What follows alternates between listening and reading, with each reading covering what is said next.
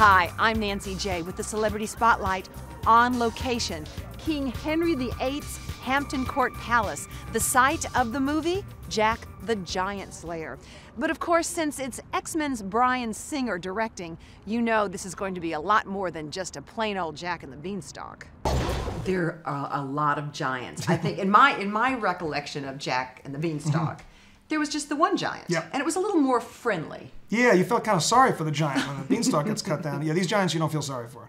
That had to be fun creating them because that it's almost like two movies. We've got Jack mm. and that that story, and then all of a sudden these giants come in, and we're talking about Fee and Fi and Fo and Fum. Mm-hmm. Well, that it was fun. That was fun to create because we did that on a motion capture stage with the actors in, in the suits and with the helmet on with the cameras. So you're, you're, you, there's no cameras. You're not lensing anything. You're basically play acting.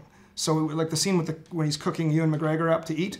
Um, you know, we built a wireframe kitchen and we just played around with dolls and, and, and did the scenes and the actors observed. Uh, uh, Nick and Ellie and Ewan watched it happen and uh, and then later, months later, we go on the stage and build it all. But it was fun to just play around in that in that volume. This movie is a con- we, this is a funny movie though. It- There there it's is fun. some wit to it. Yes, it, there it is. is. fun. I hope Yeah. so. We provide most of that. wit. We do. That's Certainly, true. we provided Yeah. it to each other on the set. Yes. Yeah. Yes. Yeah. But you're the you're the you're the good knight.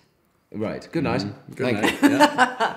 And um, I don't want to really give anything away, but uh, And you I'm the a, nightmare. Yeah. We all grew up with Jack and the Beanstalk, but Yes. this is like a whole different take on. I didn't realize there were so many giants. Yeah. no, we it. didn't either. It it harkens back to the what I guess like the what would be the original, you know, fairy tale, Right. right? Which is a very dark, mm-hmm. gloomy story, violent story. Yeah. Yeah. Which became Jack and the Beanstalk, the less frightening story, I guess, over Right. time. Right. But this harks back to the original scary story. Fee, fi, fo, fum. Ask not whence the thunder comes. For between heaven and earth is a perilous place, home to a fearsome giant race who hunger to conquer the mortals below, waiting for the seeds of revenge to grow. I saw your light and I'm lost. What are you doing out in this nasty weather? Your Highness. These your books? My father used to read that to me. I like a good adventure. I'm looking for an adventure of my own. What?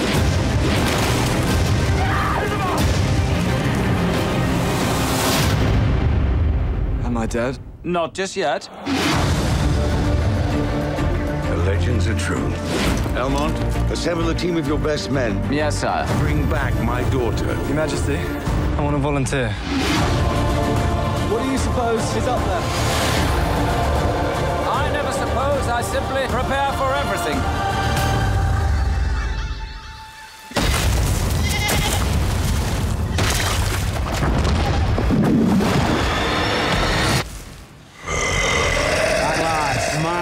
Mankind have returned. They're uglier than I remember. The mission is to find and return the princess. Tomorrow, you shall return below with me as your new king. Are you mad? I'm talking to giants at the moment. So, do you remember Jack and the Beanstalk growing up? I mean, did you get that as a fairy tale, or Yeah, we, Yeah. I, I, used I remember going to see it as a pantomime. really? Yeah.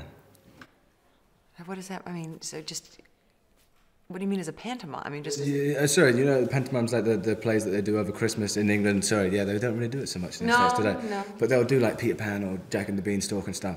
And, and, and it's it's kind of a uh, you know a thing where kids go along with their families and they throw sweets out into the audience and Yeah, it's like all that who's comes behind you and- and, all Yeah.